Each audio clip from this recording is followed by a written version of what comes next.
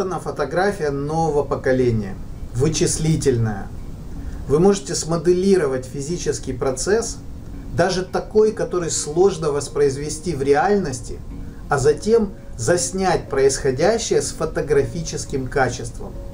Обратите внимание, что в Blender Cycles есть возможность не только изменять фокусное расстояние объектива и глубину резкости, открывая диафрагму до фантастически светосильного значения f0,5, но и влиять на боке, регулируя количество лепестков, а также видоизменять звездчатый фильтр.